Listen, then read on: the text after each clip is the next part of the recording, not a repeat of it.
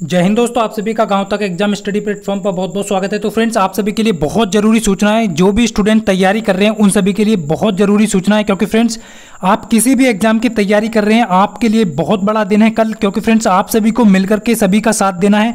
UPSI में जैसे कि आप सभी को पता है, धांधली हुई है और यूपी पुलिस कांस्टेबल का एग्ज़ाम भी आने वाली दिनों में होने वाला है, उसकी वैकेंसी आने वाली है और यूपी पुलिस रेडियो ऑपरेटर का एग्ज़ाम होने वाला है तो इस प्रकार की धांधली आपको आगे देखने को ना मिले। इसलिए आप सभी को, अपने भाई को, सभी को इस वीडियो को शेयर करना है, जिससे कि कल जो है आप सभी एकजुट हो जाएँ और ट्विटर कैंपेन चलाना है। और आज की सबसे बड़ी जो खबर है, वो सोलह की आज गिरफ्तारी हो चुकी है, यानी आंकड़ों में जो उछाला है, अब तक अब तक जो है 108 को पकड़ लिया गया है। डीवीपीएसटी में तो आप सब यहाँ पर देख पा रहे होंगे यूपीएसआई के डीवीपीएसटी में आज सोलह को पकड़ा गया है, जिनमें से तेरह लड़के हैं और तीन लड़कियाँ हैं।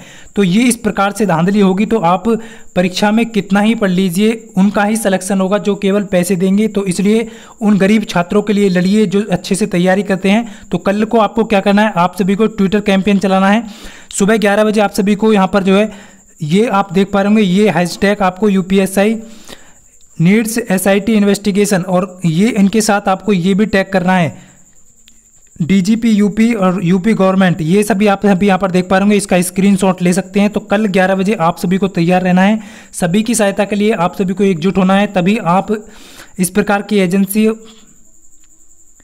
को दूर कर पाएँगे अपने एग्ज़ाम से, क्योंकि फ्रेंड्स इस प्रकार की धांधली आगे आने वाली परीक्षाओं में चलेगी तो आपका भविष्य बेकार हो जाएगा। आप चाहे कितना भी पढ़ते हो, एकदम निष्पक्ष भर्ती के लिए आप सभी को सभी का साथ देना होगा। तो मिलते हैं कल ग्यारह बजे, तब तक के लिए जय हिंद, वंदे मातरम।